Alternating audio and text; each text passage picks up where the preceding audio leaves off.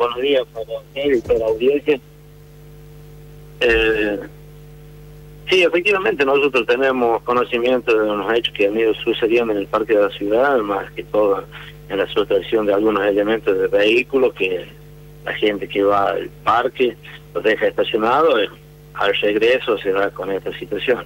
Estamos trabajando con el personal que nosotros tenemos, tanto en la calle como el personal uniformado en la zona, para tratar de establecer, eh, de evitar este tipo de hechos y bueno, poder lograr con los autores materiales de estas circunstancias. El día sábado, eh, ¿cómo fue que eh, se hizo este robo hacia este vehículo?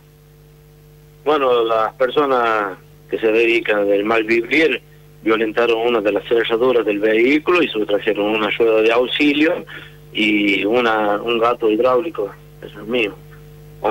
Tenemos conocimiento de otros hechos que han ido sucediendo en el lugar, pero no tenemos denuncias de ellos. Por eso la gente que se siente damnificado de este tipo de ilícito, a veces que no tomamos conocimiento, llegamos al lugar, vemos la situación, los invitamos que hagan la denuncia, porque por ahí vamos a trabajar en los hechos, podemos recuperar los elementos, pero no tenemos la denuncia previa a esta situación. Por eso nosotros queremos informarle y solicitarle a la gente que si llegue por la comisaría, que venga a hacer la denuncia para que nosotros podamos después ubicarle en caso de tener los elementos. ¿Son de gran mayoría los números de casos eh, así en los cuales eh, roban hacia vehículos o básicamente también roban, los, eh, roban se llevan los vehículos del parque de la ciudad? Casos aislados. este fin de semana fue atípico por la concurrencia que hemos tenido, tanto el evento deportivo, lo que es básquet, que hubo gran convocatoria, como asimismo tuvimos una maratón el día sábado, que convocó mucha gente, entonces fue esa la situación que a veces nos hizo imposible controlar todos los sectores del de ahí del parque de la ciudad para evitar este tipo de hechos. Chicos, ¿alguna pregunta si les, eh, paso con el comisario? Bueno, pásame. Eh, bueno, ahí te comunico. Eh, ¿Cómo le va, comisario? ¿Cómo anda? Buen día, Nicolás lo saluda. Hola, Nico, ¿cómo estás? Bien, bien, bien, bien. Bueno, eh, ya me hizo recordar sobre el tema de la, de la maratón. ¿Quién define los cortes en las calles cuando se hace una maratón, por ejemplo, en el parque de la ciudad, comisario? Eh, depende del sector que va a abarcar. A veces nosotros trabajamos dentro del parque de la ciudad, obviamente depende de la gente de la policía, con conocimiento del municipio, el gobierno, es un trabajo conjunto que se hace con todas las áreas. Bueno, deberían, digo, planificarlo un poco más, porque justo ese día a mí me tocó pasar en el momento de la, de la maratón y cortaron todas las calles de manera tal que era imposible cruzarlo al parque de la ciudad, cruzarlo de, desde la zona de, bueno, había que nombrar al bar ese que está mala mía, desde esa zona hacia, la rotonda era, era, imposible, entonces hay que buscarle la vuelta porque los autos tienen que pasar, si no, no tienen otra salida.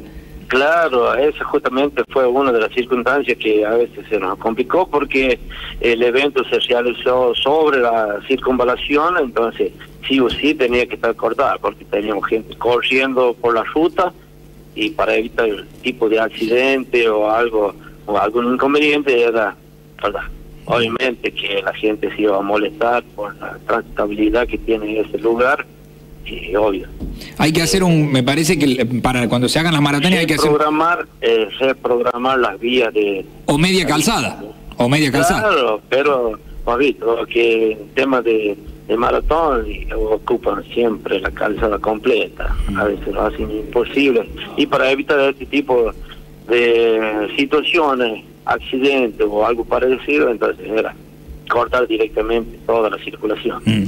Creo que trae más problemas que, que, soluciones. obviamente, que hay algunos que lo van a ver desde un punto de vista bueno, otro desde punto de vista malo, pues debido van a circular por eso. No, no, es que no está mal que se haga la maratón, lo que hay que hacer es un corte, digamos, eh, inteligente, en el sentido de, digamos, no, no cortar la totalidad de las vías, a eso me refiero, ¿no? Claro, claro. Eh. es- Comisario, agradecerle, muchas gracias. ¿eh? los organizadores Sí, no, yo no- el no- lugar donde se realiza. No lo Cuando es interno dentro del parque de la ciudad es mucho más fácil. Totalmente. Porque vos lo manejas. Totalmente. Todo. Totalmente, en eso estoy de acuerdo. Cuando es interno por el parque es, es distinto. Eh, gracias, comisario. Gracias por su tiempo. No, ¿eh? buen día. Hasta luego, hasta luego. Bueno, robo adentro de un auto en el parque de la ciudad y bueno, eh, estos cortes que se han realizado. Justo me tocó a mí, era imposible. Venía por la esta de, Sí. de Malamiet, ta- estaba cortado. Te ibas, te desviaban hacia la otra calle interna que tiene, que no me acuerdo cómo se llama, que, que da con la Avenida Las Palmeras, también estaba cortada. Ah, ¿Y en para qué te desviaban ahí? Y no, eh, y quedabas encerrado. Era, eh, eh, estabas en- encerrado totalmente, no podías salir. Eh, Brenda, muchísimas gracias. Hasta luego, chicos. Hasta luego, hasta luego.